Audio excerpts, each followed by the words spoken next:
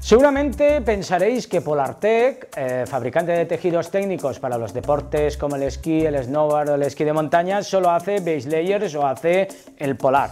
Bueno, pues además de eso, eh, lo que hace son terceras capas, chaquetas que nos eh, protegen de la lluvia, el viento y el frío. Dos ejemplos claros son el Polartec Windblock, con este ejemplo de Trango Wall, y el Polartec Neoshell.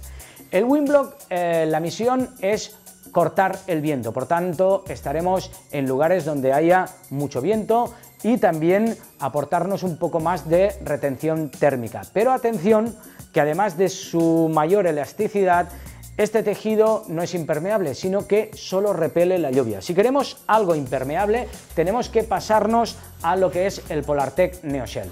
Un tejido con membrana, igual que el Windblock, pero es una membrana microporosa que deja pasar un 0,1% del viento entre interior y exterior.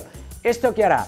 Hará que sea una prenda mucho más fría que el Windblock, pero una prenda mucho más indicada para deportes como el esquí de montaña o las personas que esquían mucho o que hacen mucho snowboard, que hacen mucho ejercicio y por tanto necesitan eh, transportar mucho exceso de calor y de sudor al exterior. Por tanto, iríamos al Polartec Neoshell. ¿Cómo podemos eh, conservar estas dos prendas? Muy fácil. Las podemos lavar a mano o a máquina a 30 grados.